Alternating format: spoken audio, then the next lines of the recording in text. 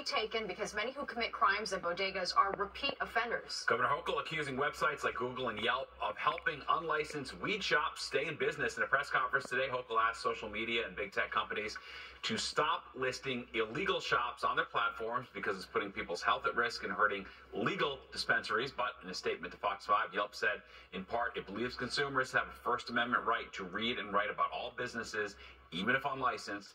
And Google says, in part, that they display places that people can visit or interact with in the real world.